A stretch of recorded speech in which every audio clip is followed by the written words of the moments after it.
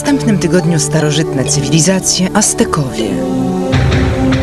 Gdzie odcinek czwarty.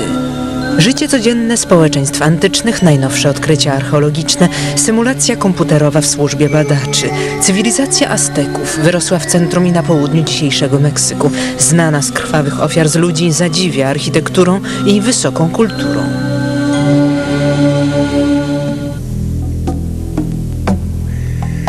Ruiny stolicy Azteków leżą niedaleko katedry w mieście Meksyk.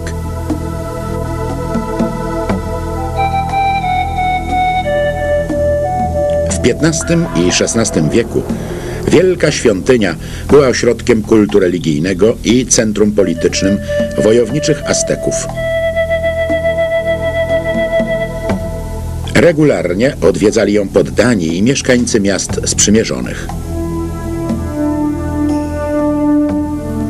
Aztecki bóg Huitzilopochtli obiecał swemu ludowi panowanie nad rozległym imperium. Musieli je tylko odnaleźć. Drogę miał im wskazać orzeł, który z wężem w dziobie usiądzie na kaktusie. Wtedy mogli być pewni, że znaleźli krainę, którą będą władać. Tam mieli zbudować stolicę Tenochtitlan. Obecnie leży tu miasto Meksyk.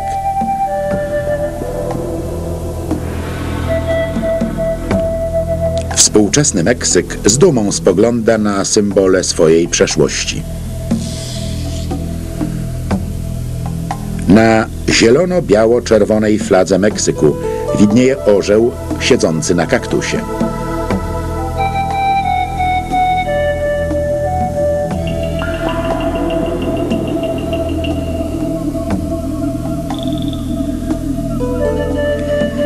Wielka świątynia Azteków była początkowo skromną budowlą wzniesioną na cześć dwóch bogów tego ludu Huitzilopochtli i boga deszczu Tlaloca. Gdy Aztekowie się wzbogacili, powiększyli budynek, pomalowali go jaskrawymi barwami. Wyznaczał sam środek potężnego azteckiego imperium.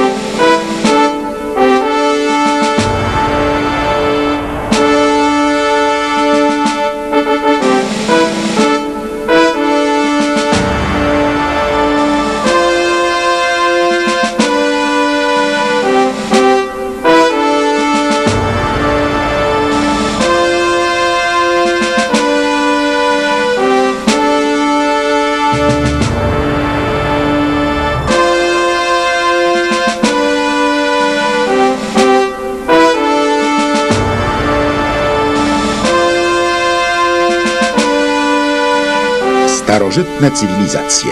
Aztekowie.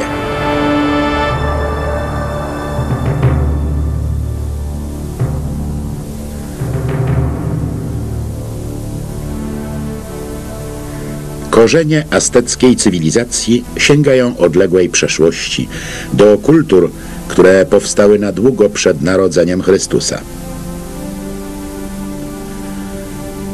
Opracowały kalendarz oparty na cyklu trwającym 52 lata.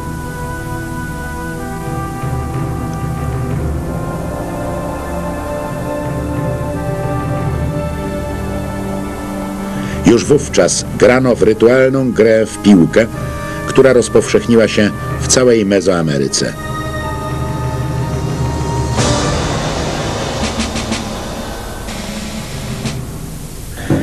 Na długo przed przybyciem Azteków nad centralną częścią Meksyku panowało miasto Teotihuacan. Leżało w odległości 45 km od osady, która potem stała się aztecką stolicą. Teotihuacan było dużym miastem. Około 600 roku naszej ery, szóstym pod względem wielkości na świecie. Jego ruiny nadal wywierają ogromne wrażenie. Miało ponad 13 km kwadratowych powierzchni.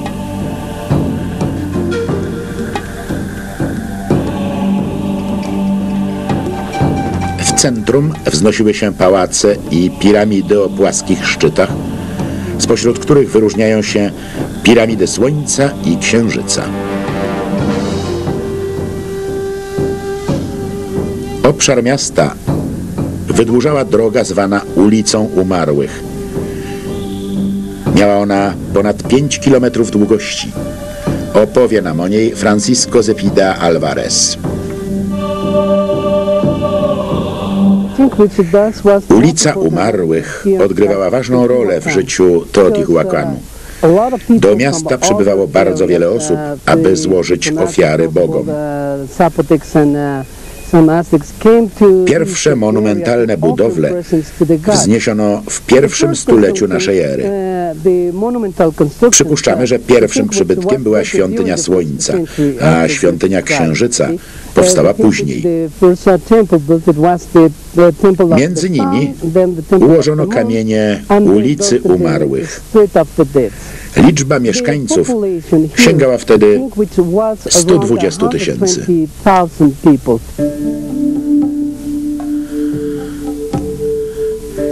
Ściany budowli pokryły wizerunki bogów i bogiń, którym w czasach Azteków oddawano cześć.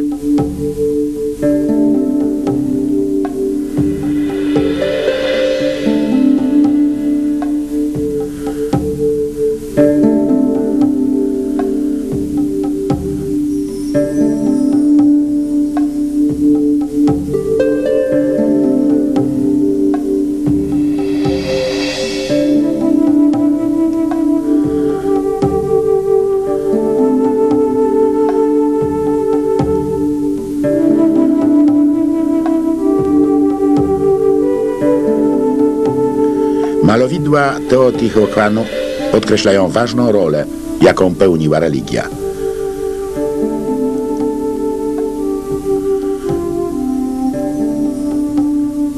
Często przedstawiały wodę, ziemię i morskie stworzenia.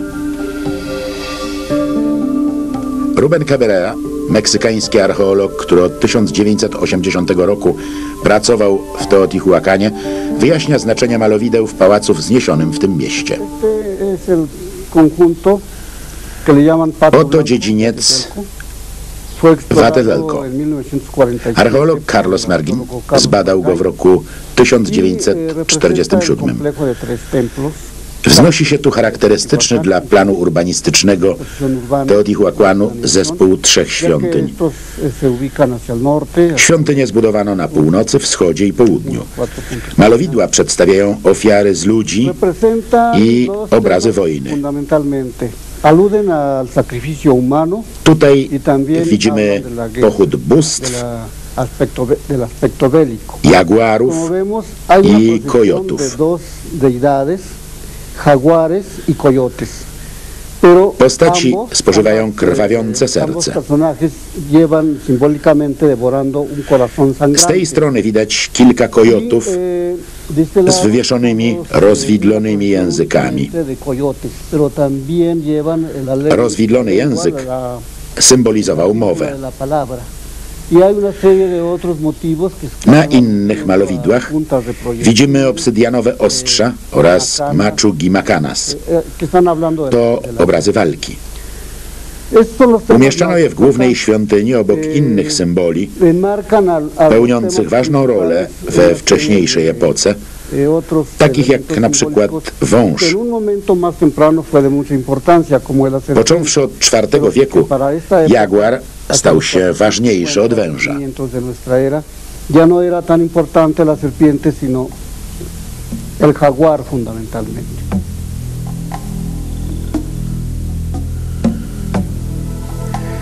Charakterystyczna dla malowideł naściennych Teotihuacanu jest ich złożona symbolika.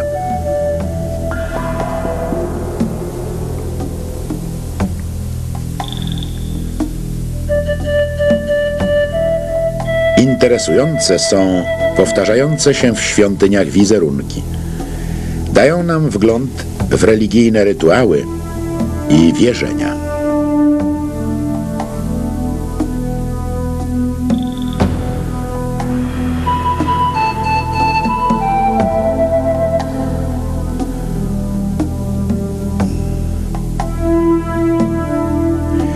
Około roku 650 naszej ery Teotihuacan stracił na znaczeniu, ale pozostał ważnym ośrodkiem kultu religijnego. Wierzono bowiem, że właśnie tutaj spotkali się bogowie, aby stworzyć słońce.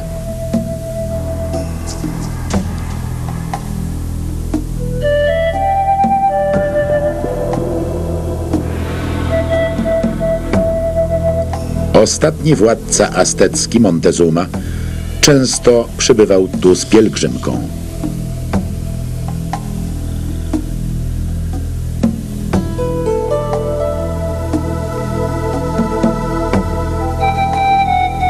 Aztekowie zachowywali tradycje przekazane im przez poprzednich władców tej ziemi, Tolteków. Ich osiągnięcia przypisywano Quetzalcoatlowi, wielkiemu kapłanowi i władcy. Pod koniec XI wieku państwo Tolteków upadło.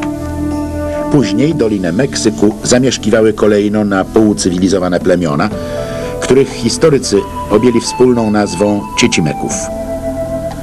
Ostatnie z barbarzyńskich plemion, które zamieszkało Dolinę Meksyku, nazywamy Aztekami.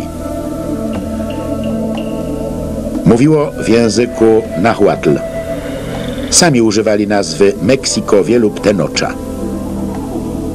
Początki państwa Azteków znamy jedynie z legend. Według nich Aztekowie znaleźli boga Huitzilopochtli w jaskini.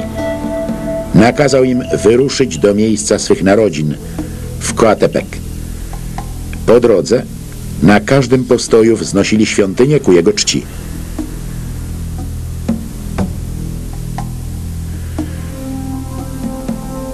Narodziny Boga Wojny, Huitzilopochtli, miały dla Azteków ogromne znaczenie, ponieważ uważano go za wcielenie słońca.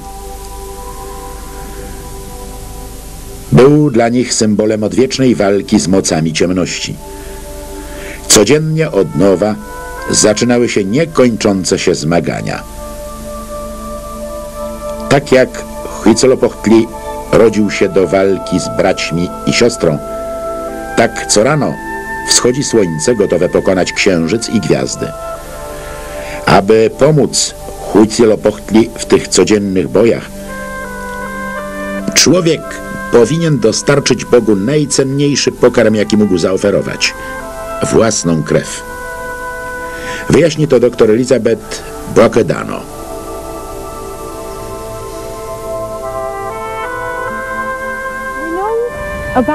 Wiemy dość dużo o ofiarach z ludzi dzięki XVI-wiecznym mnichom, którzy bardzo starannie je opisali. very meticulously records about human sacrifice. Bernardino de Sahagún, który spisał dokładnie wszystko, co dotyczyło religii. Przybył do Meksyku w who came to Mexico in 1539 roku. 1539. We know that human Aztecy wierzyli, że ofiara z ludzi pełni ważną rolę w zachowaniu równowagi wszechświata. Była też najcenniejszym darem, jaki człowiek mógł ofiarować Bogu.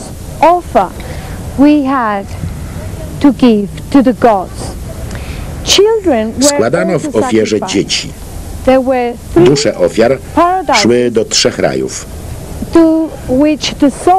Bogowi deszczu składano specjalne ofiary. Rain Stosowano przy tym różne metody. But the method of disposal of the body varied. Z lewej strony widzimy ścięte głowy.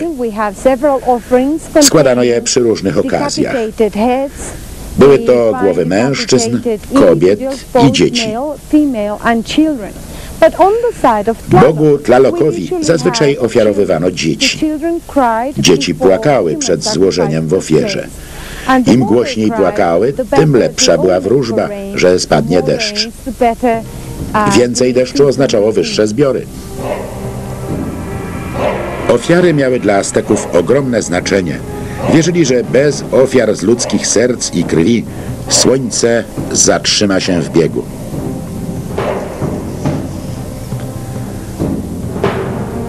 Głowy ofiar złożonych w ofierze umieszczano na specjalnych stojakach.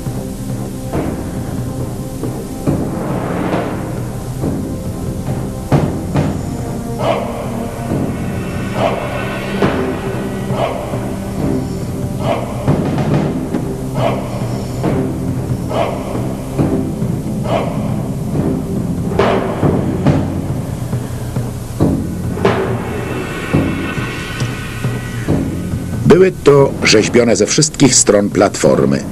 Na platformie z Wielkiej Świątyni znajduje się 240 pokrytych stiukiem czaszek. Miały onieśmielać wrogów, bowiem stanowiły przerażający dowód zwycięstwa w bitwie.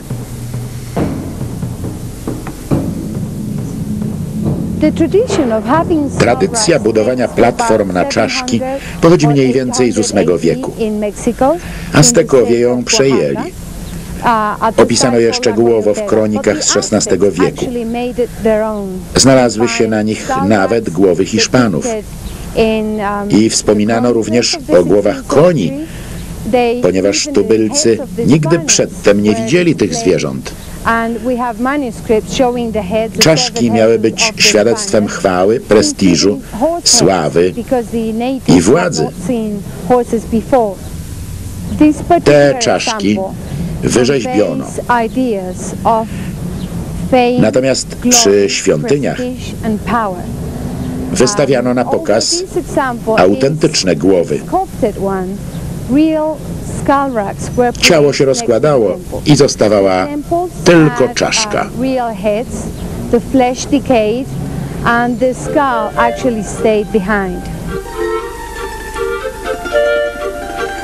Serca ofiar umieszczano w naczyniach o nazwie kuasikali, czyli w naczyniach orła.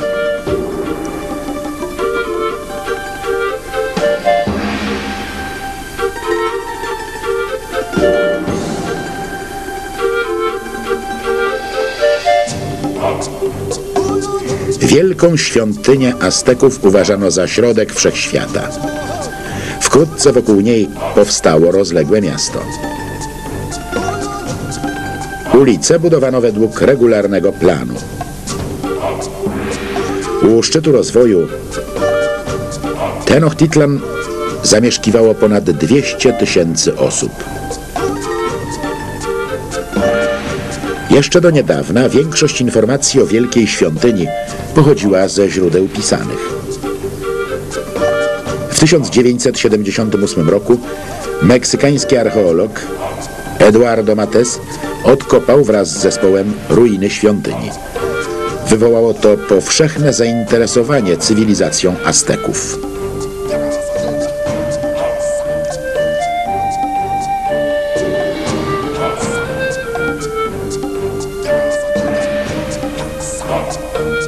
Pierwsza świątynia zniknęła. Następna pochodzi z 1390 roku i zachowała się niemal w całości. Późniejsze konstrukcje otaczano coraz większymi budowlami. Te piramidy poświęcono Bogu Słońca, Huitzilopochtli oraz bogowi deszczu Tlalokowi.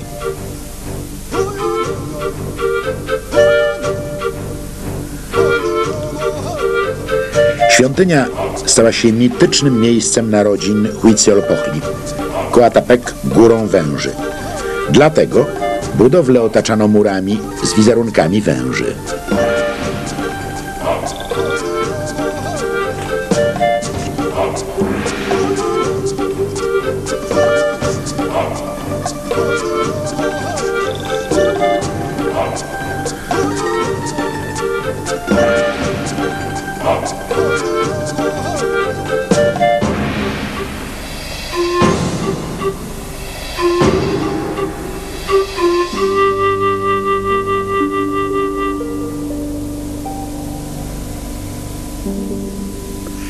Wielka świątynia miała wysokość współczesnej katedry w mieście Meksyk.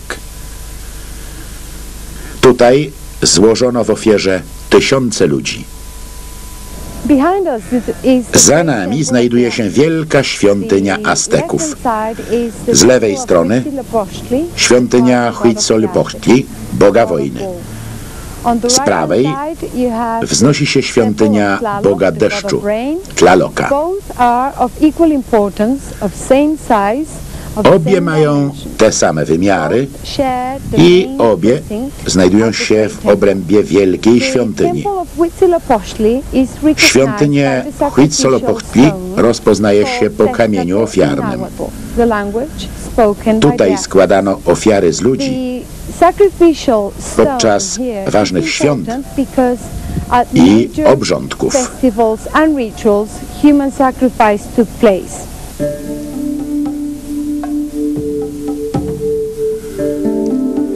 Z drugiej strony, przy wejściu do świątyni poświęconej bogowi deszczu Tlalokowi, znajduje się rzeźba spoczywającego mężczyzny, przytrzymującego naczynie przy brzuchu.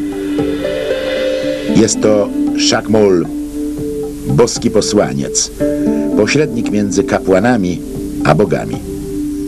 Tutaj przynoszono ludzkie serca i krew.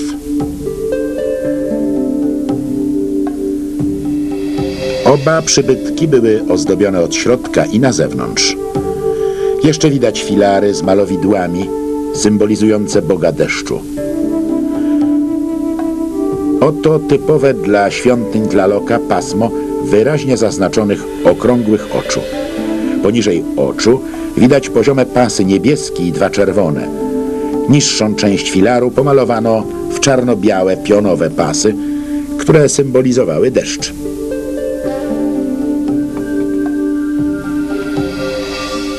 Niewiele wiadomo o trzecim poziomie konstrukcji Wielkiej Świątyni.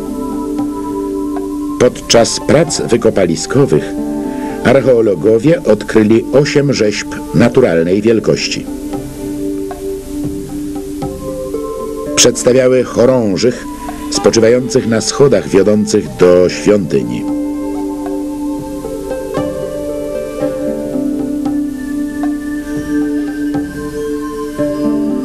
Na terenie świątyni wydobyto 6 tysięcy przedmiotów. Wiele z nich pochodziło z różnych okolic dawnego imperium.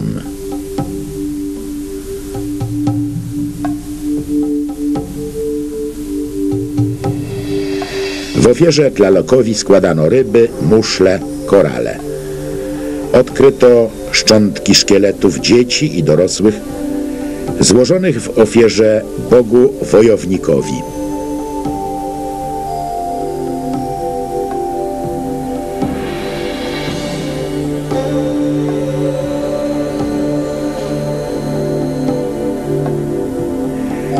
Wizerunkami Boga Ognia, Ksiutekupli, wciąż można zobaczyć ryby z zatoki, korale i muszle, a także kadzidła i przedmioty z całego obszaru Mezoameryki.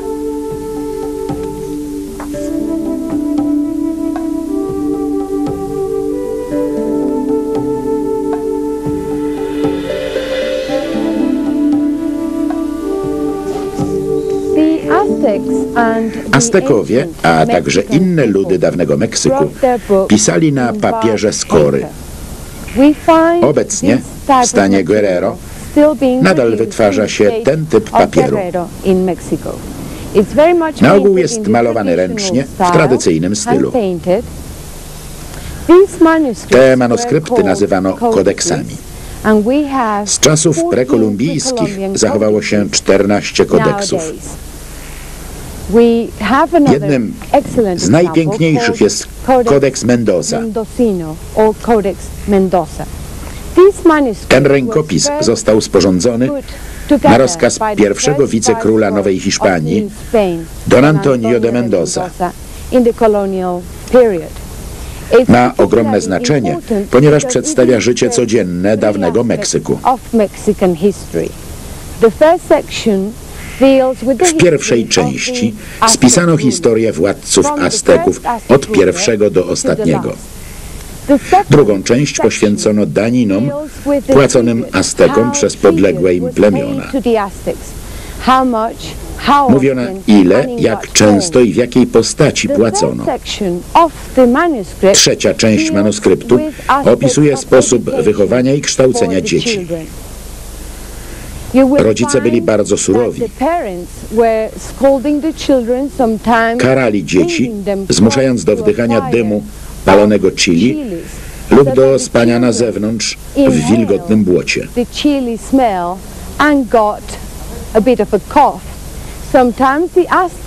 Omawiano też inne kwestie, na przykład ile placków kukurydzianych dziennie wolno było dziecku zjeść, co oczywiście zależało od wieku.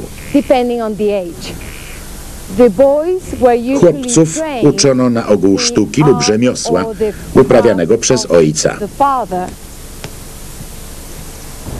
Dziewczęta zostawały w domu przy at matce, która uczyła je gotowania lub tkactwa.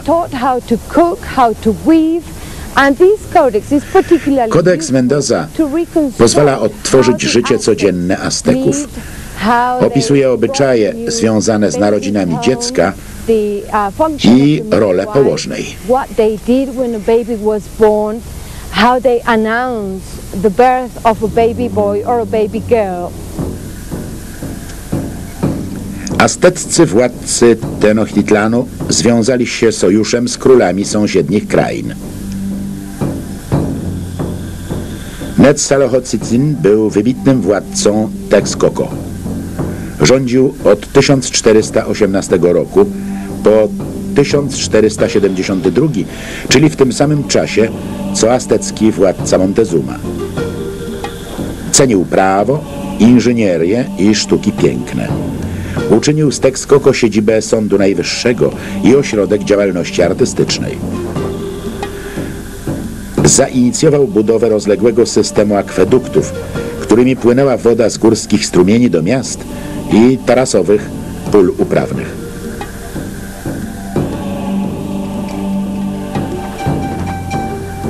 Nie zachował się wielki pałac Neza Hualcoitizina, ale na pobliskich wzgórzach Tescozinco pozostały ślady królewskich ogrodów.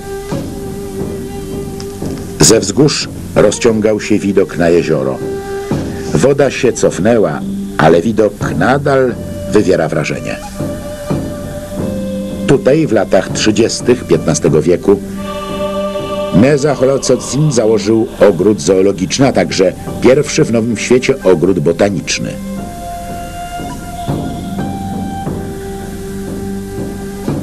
Akwedukt doprowadzał wodę do ozdobionego płaskorzeźbami zbiornika. Stąd woda płynęła do strumieni i kanałów w całym ogrodzie. Napełniała stawy i basen wykuty w skale. Na rozkaz króla zbudowano w skałach kręcone schody.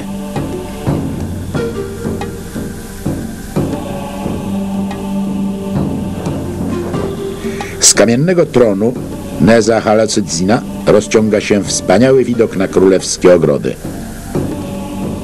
Król mógł stąd obserwować ruch łódek rybackich, słuchać śpiewu ptaków. Później jezioro osuszono pod ziemię uprawną. Widać zarysy brzegów, ale nie ma już wodospadów, klatek z ptakami i kwiatowych rabat, które sprawiały królowi tak wielką przyjemność. System wodny Azteków można obejrzeć w Xochimilco. Nazwa w języku nahuatl oznacza pole kwiatów. Tłumnie przybywają tu turyści, a handlarze rozkładają towary na kolorowych barkach, tak samo jak robili to przed wiekami ich przodkowie.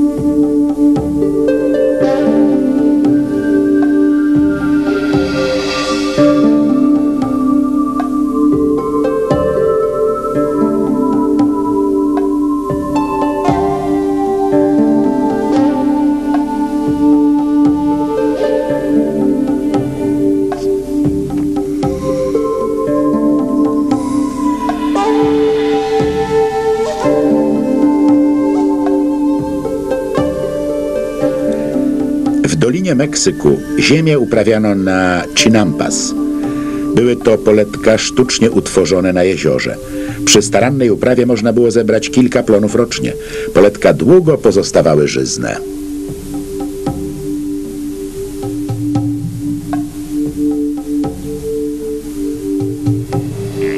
Xochimilco Turyści nazywają area pływającym ogrodem. Jest znane z azteckich kanałów. Aztekowie podróżowali nimi, a na brzegach sprzedawali rozmaite produkty. Kanały ciągnęły się aż do Tenochtitlanu. Wielka świątynia Azteków wznosiła się na brzegu jeziora Texcoco. W tym rejonie występowała woda słodka i słona. Za panowania Montezumy postanowiono zbudować tamę, aby oddzielić wodę słodką od słonej. Wzniesiono akwedukt, który dostarczał wodę do gospodarstw domowych i do nawadniania pól. Very important aqueduct which divided water for people to drink Ziemia jest tu bardzo żyzna. Rocznie dawała trzy, a nawet cztery plony.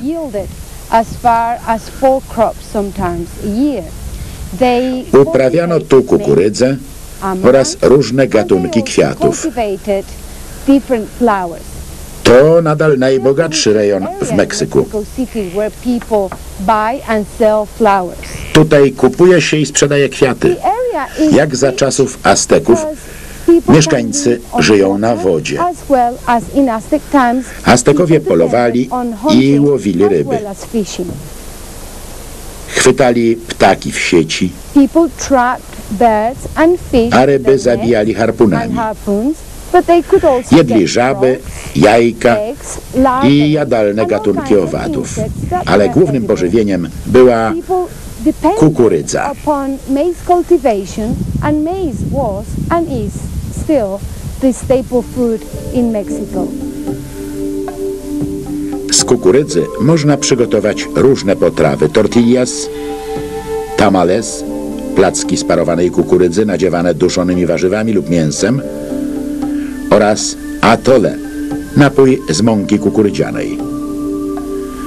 Między jeziorami Doliny Meksyku można było przepłynąć na łodziach.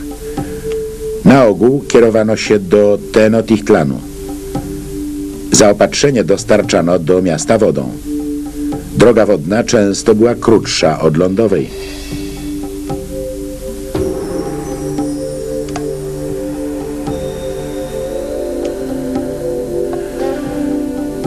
Bardzo ważną rolę w życiu Azteków odgrywała agawa.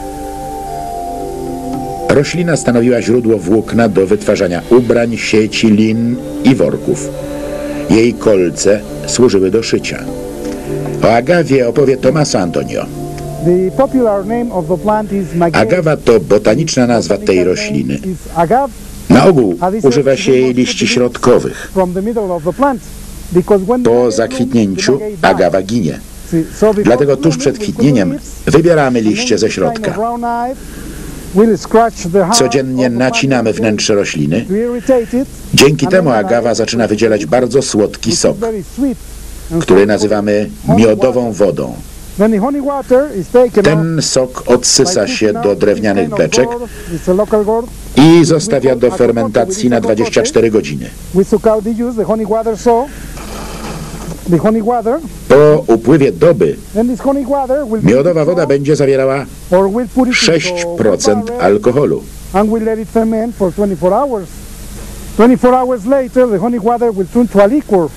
And we'll let it ferment for 24 hours. 24 hours later, the honey water will turn to a liquor. A pren- Ten napój Nosi nazwę pulkę. Przez okres 6 miesięcy roślina może wydzielić ponad 4 litry soku dziennie, z tego połowę rano, a połowę po południu. Ponadto z liści można wyprodukować mocny papier, przypominający pergamin. Mogę napisać coś na nim. They got the parchment paper. Mhm. Wtedy będzie można zobaczyć, że włókna nadają się do wykorzystania właśnie jako papier. Look, from each leaf, Proszę, the ancient cultures, they got the parchment paper. They got one sheet inside. już Aztekowie wytwarzali papier z agawy. Z jednego liścia uzyskuje się dwie kartki, jedną z wewnętrznej strony, drugą z zewnętrznej.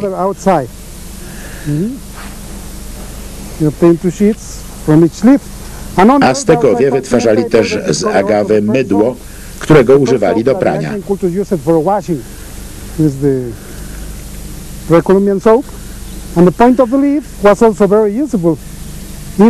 Kolec rosnący na końcu liścia wykorzystywano do szycia lub przędzenia. Z włókien kaktusa tkano materiał na ubrania. Farbowano je naturalnymi barwnikami, na przykład płatkami kwiatów. Mhm. Look at it. Mhm. Needle and thread together. Mhm. I uzyskiwano bardzo trwałe kolory.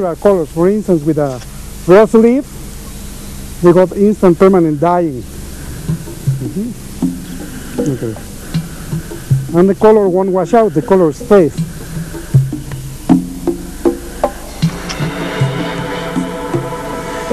Kiedy w roku 1517 pierwsi Hiszpanie przybyli na wybrzeże Meksyku, pragnęli przede wszystkim zdobyć ziemię dla hiszpańskiej korony i głosić Słowo Boże.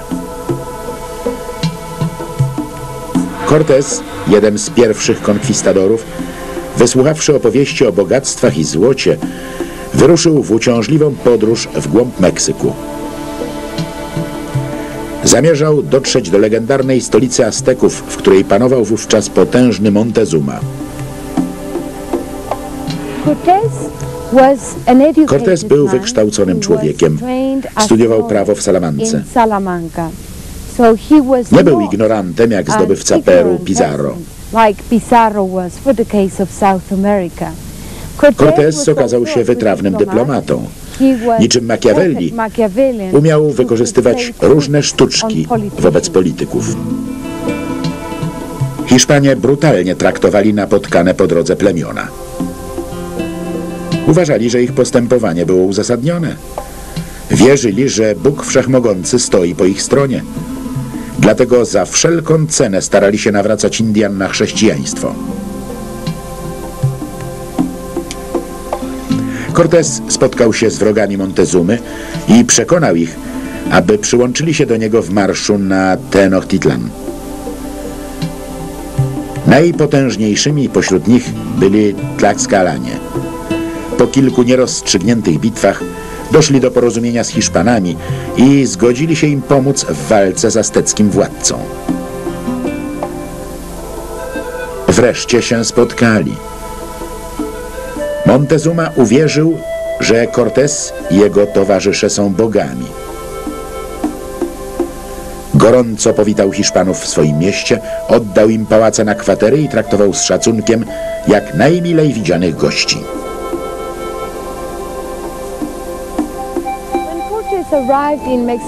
Cortés przybył do Meksyku w 1519 roku.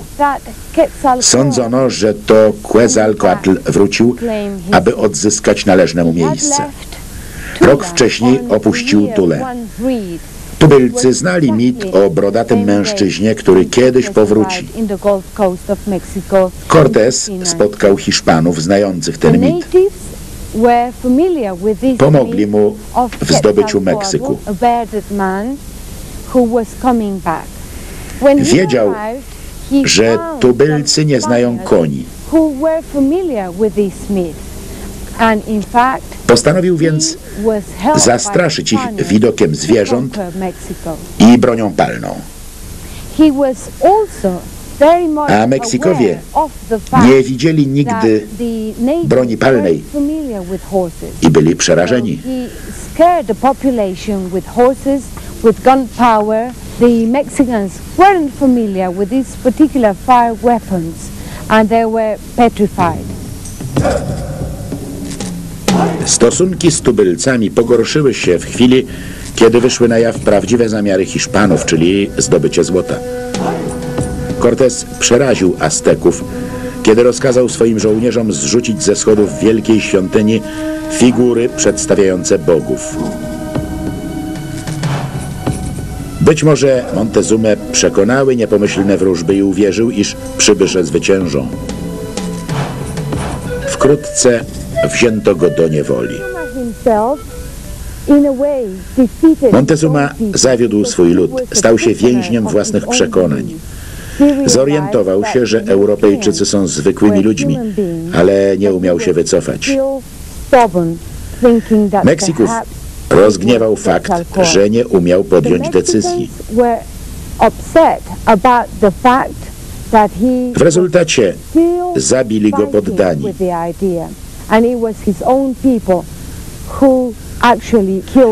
Zachował się opis, jak król stanął na balkonie i został ukamienowany przez swoich. People. 28 kwietnia 1521 roku rozpoczął się atak na stolicę azteckiego imperium.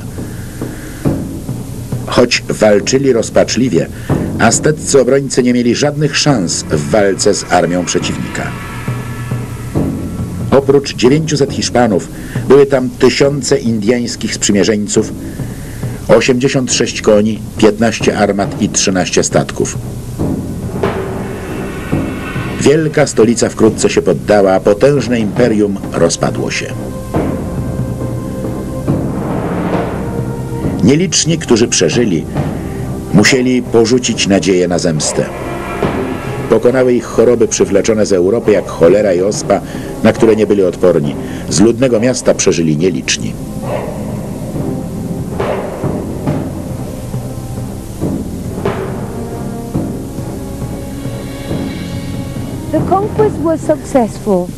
Hiszpanie zwyciężyli, ponieważ dysponowali bronią palną i końmi. Indianie nie znali sposobu prowadzenia wojny, w którym Hiszpanie celowali. Dawni Meksikowie byli przyzwyczajeni do brania jeńców, aby móc ich złożyć w ofierze bogom. Nie zabijali dla samego zabijania. Zupełnie inaczej pojmowali wojnę. What war was. Przegrana oznaczała upadek Tenochtitlanu i początek Nowej Hiszpanii. Na szczęście nadal w niektórych rejonach Meksyku używa się języka nahuatl. Kultura aztecka nie zaginęła. W meksykańskiej odmianie języka hiszpańskiego istnieje wiele słów pochodzących z języka nahuatl, zwłaszcza te określające warzywa lub pożywienie. Pomidor, chili, czekolada, awokado. Trafiły one także do innych języków.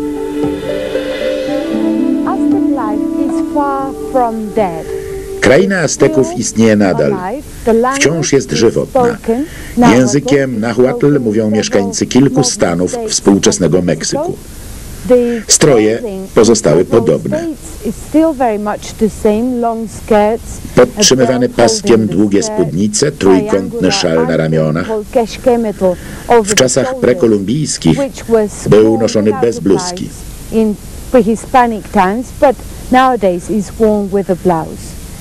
Mężczyźni zmienili ubiór, natomiast w meksykańskich wioskach kobiety podtrzymują dawne tradycje. Zachowały się dawne przepisy kulinarne.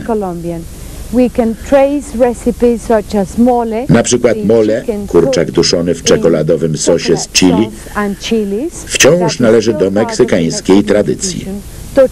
Codziennie spożywa się tortillas. Tryb życia na wsi przypomina czasy przed Kolumbem. Jak za czasów azteckich w stanie Puebla, w San Pablito przestrzega się określonych rytuałów. Obcina się głowę przepiórki i spryskuje ziemię jej krwią. Nadal koliber służy jako amulet use of the hummingbird as a charm object is still carried out.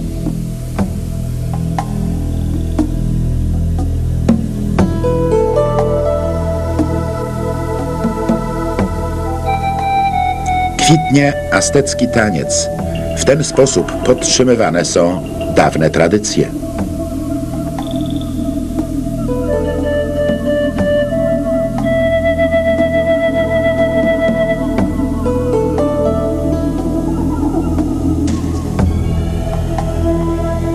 Wielka świątynia leży w ruinie, ale przypomina czasy, gdy była centrum jednej z największych potęg na Ziemi. Napisano w azteckim wierszu, jak długo istnieje świat, trwać będzie moc i chwała Tenochtitlanu.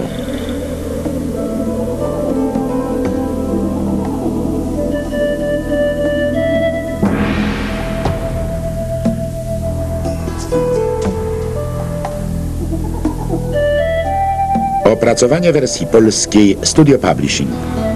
Tekst Małgorzata Samborska. Konsultacja Elżbieta Siarkiewicz. Czytał Tomasz Knapik.